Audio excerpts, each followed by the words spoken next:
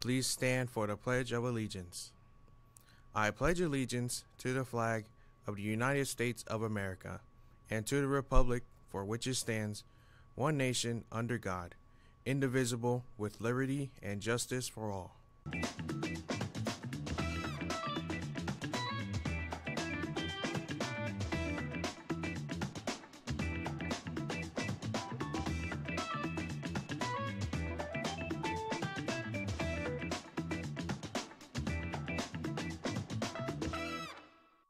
Good morning, Cheney Tech. Today is Wednesday, October 11th. I'm Gabriela Hernandez, and these are your morning announcements.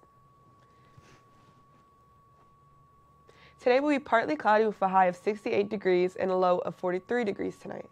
The rain stays away for majority of the week, but is slated to return over the weekend. Today's lunch is stuffed shells and marinara sauce, steamed green beans, a garlic nut roll, and your choice of fruit or milk. Please be advised that today's lunch waves are different today due to PSATs. Teachers must Check their emails to see the scheduled lunchways for today.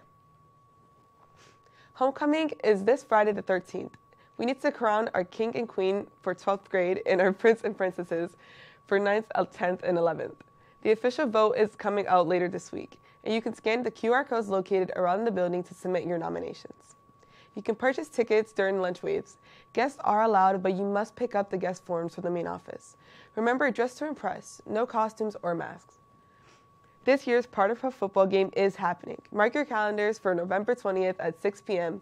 when your Cheney Tech junior and senior girls will take on Windham Tech. Look for the QR code on flyers around the building for registration information. The girls volleyball team played Bolton High School last night. Varsity lost in three sets. Freshman Andrea Santiago Rivera had eight assists and two aces. Senior Lena Longprset had one ace and four digs. Senior Ruth Mihawk had 12 digs. JV girls lost in two sets. Shout out to JV goes to Ariel Walker, Gypsy Ruiz, Olivia Greffa. The girls' next home game is next Wednesday against Grasso Tech. Come show support. Cheney Tech hosted a 5K with Vinal Tech and Prince Tech at Wickham Park yesterday. Cheney split races, losing to Prince Tech, but getting a victory over Vinal Tech. Leading the way was sophomore Hudson Quillen, who took first place with a time of 22 up 10 in 10 seconds, and freshman Judge Gray, finished fifth place with a time of 22 minutes and 55 seconds. Next meet will be the CTC Championship on Monday. Seniors, don't forget to schedule your senior photos. The photographer will be here October 20th. Please schedule your photos at legacystudios.com. A few reminders from administration. Passing times is for transitioning only. Bathrooms are not allowed to be used during this time. Students should report to their assigned classes before using the bathroom. Please be advised that you should be arriving in uniform each day.